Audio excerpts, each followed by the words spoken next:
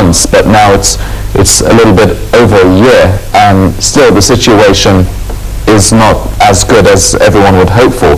Do you feel that the situation in North Sinai will always be some sort of a, a fork at the back of the Egyptians? I, I think that uh, announcing uh, this developmental plan at this moment, I think it's good. Uh, and I think it sends a message of um, support to the people of Sinai and to the Egyptian people at large. Uh, and I think it, it, it, it, it is it is good that, that something comes out now. But as I say, that we need to have this sort of minimum level of security, and unfortunately, due to uh, the, the, the, the, compounded factors we talked about, uh, whether the neglect in the past decades, uh, the, you know, the, the, the loss of, of control in the, in, into, you know, just after the January Revolution, and the inflow of arms, uh, the, the kind of uh, connectivity with uh, Daesh and, and, and other extremist organizations, and having also support from uh, foreign powers, which uh, is, is, its, aim is to destabilize Egypt. And I think during also the, the Muslim Brotherhood reign, uh, despite truth, I think there was some kind of strengthening and also releasing many of the convicts who just you know went to Sinai. Sinai was becoming a safe haven for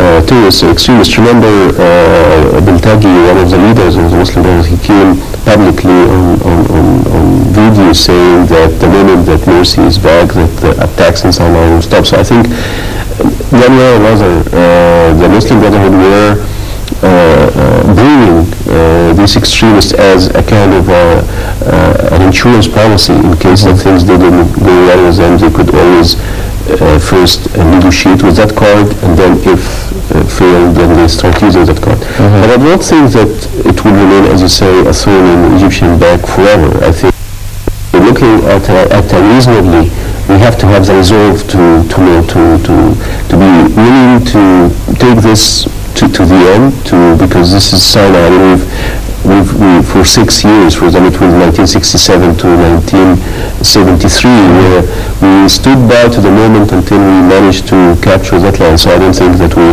uh, uh, we believe in Sinai to anybody else. Uh, mm-hmm. And, uh, uh, you know, no matter how long it takes, no matter how many of our uh, people will have to to sacrifice their lives, I think a lot of Egyptians feel the they were there to, mm-hmm. to, to participate in, in protecting the land. Yes. Well, what about these uh, developmental projects now? The initiative or the decision to actually start uh, giving the green light and the go-ahead for these uh, projects uh, to be underway, it's coinciding with the timing right before the uh, March uh, Economic Conference taking place in Sharm el-Sheikh. How do you think these terrorist attacks will have, uh, will they have any sort of impact on uh, the summit, on Egypt's position and Egypt's uh, economic ambitions within this summit? Do you think that the international community will look upon these uh, recent attacks and the response of President Sisi uh, to these attacks because the presidency has been traveling all over the world trying to uh, sort of plant seeds of economic investments all throughout uh, different continents. Do you feel that this is something that sort of shakes things a little bit, just makes Egypt's position within this summit a little bit weaker? Well, uh, unfortunately, uh, the last few days, I think you, you, might have followed that there is a kind of qualitative shift in the Muslim Brotherhood political discourse. Uh, I've, I followed some of the uh, statements that were announced on the Muslim Brotherhood official website as well as some of the TV messages from some of the TV stations loyal to the Muslim Brotherhood and, and, and it, it actually carried blatant uh, threats of assassinations, of uh, bombings, of attacks. Uh, it even had uh, warnings uh, against uh, foreign foreigners and foreign interest, not only in Egypt, but you know, in the Middle East. Mm-hmm. And for the first time in, in I think in probably decades. I think the Muslim brothers are departing. This is this is a major shift. Are departing from using the facade. The Muslim Brotherhood always tried to use a good terrorist, bad terrorist strategy, meaning that uh, we are the good, you know, peaceful organization. Uh, you, ha- you have to let us through, otherwise these other evil, you know, extremist organizations will come and kill you. But now Muslim Brothers are that. Uh, and this only happened in the last few days, coinciding also with these attacks. So I am sensing that there is a stepping up of, uh, of these terrorist uh, activities. Uh, uh, the, the Muslim brothers, I think, they have come to a point of a kind of suicidal dis- desper- desperation that they come out with these, uh, with these threats because the Muslim brothers discourse with foreign powers, with the United States, with Europe, is that we are a peaceful organization, we represent legitimacy, our president was democratically elected, we never have these threats. But now coming up with these threats officially, it means that the Muslim brothers are in a, in, a, in, a, in a state of despair. And I think the reason why they're in a state of despair is that they are witnessing the end of the transition. They are witnessing that, that in, in, in a few weeks' time we're going to have the parliamentary elections, we're going to have this uh, uh, hopefully a start of an economic recovery, not an economic recovery of the conference, but the start, as I say, the seeds of, of some big initiatives which with time, if left by you know, the, the natural forces, they will start generating jobs and start generating income uh, and foreign currency and so on.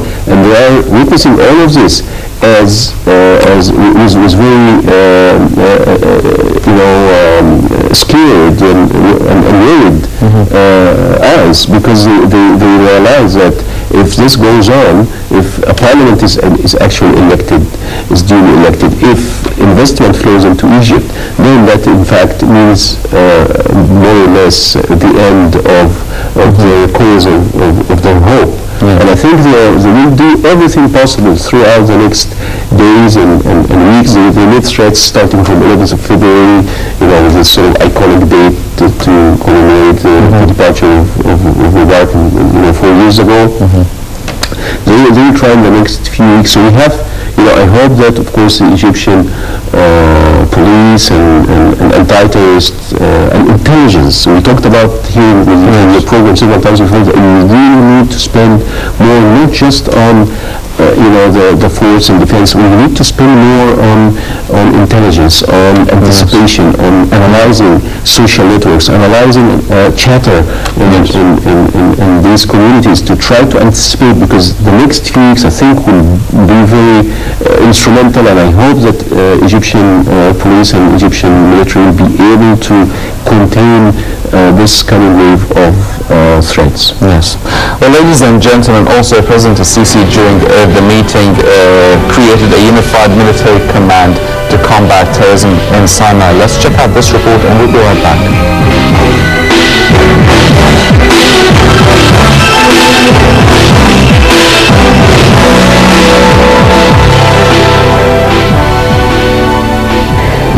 Abdel Fattah el-Sisi issued a decree on Saturday to create a unified military command for the east of the Suez Canal to combat terrorism two days after a series of militant attacks killed scores of people in Sinai.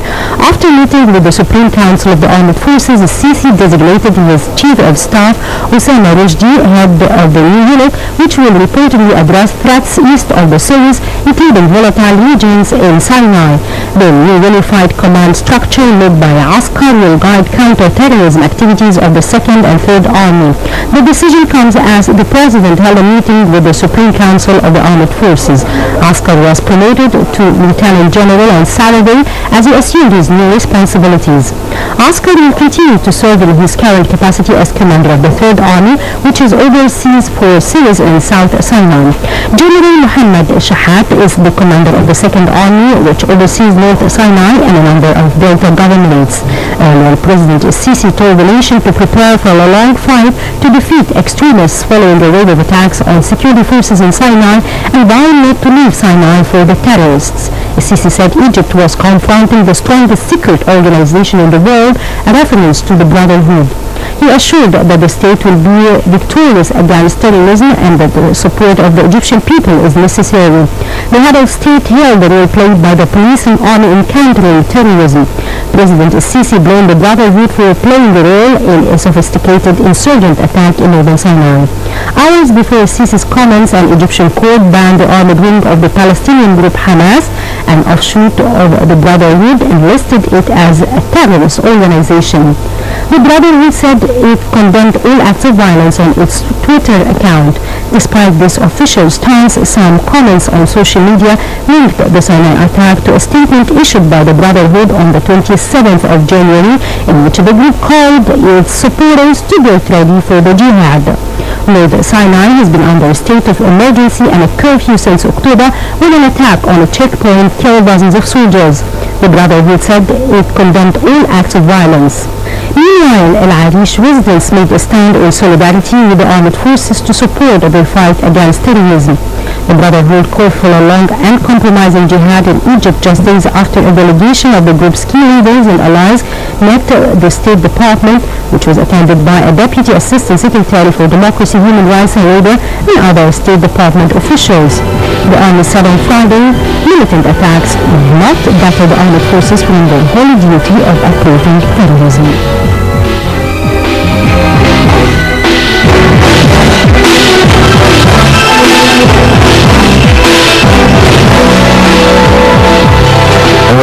Ladies and gentlemen, still with Mr. Wael Nawara, head of the political bureau of the Muhafazin Party, and now we're joined by Dr. Ihab Kharat, secretary of the Supreme Council of the Social Democratic Party. Now, Dr. Kharat, we're talking about the billions of pounds being pledged to developmental projects in Sinai as part of the solution to counter the terrorist uh, attacks taking place there. Now, development is part of the solution uh, to terrorism uh, taking place in Sinai. But now having these terrorist attacks, well-trained terrorists, well-trained militants with high, uh, highly developed weapons and ammunition, even if it's not the highest ever, it's at least good enough to actually take out a, a lot of uh, Egyptian souls. Do you feel that there's still more to be done by the uh, Egyptian military, or do you think that it's just a matter of time and milking out all the uh, terrorist elements taking place in Sinai? The issue is that uh, during Morsi's time, at least 1,500 uh, uh, prisoners who were, uh, yeah, had fair court trials and were con- con- convicted on terrorist criminal uh, charges, they were released by presidential parole. Uh, people, terrorists from all over the world were invited and given visa and were sent to uh, to Sinai. Some people say we are facing 10,000, some pe- people are even saying 30,000 of those uh, well-trained guerrilla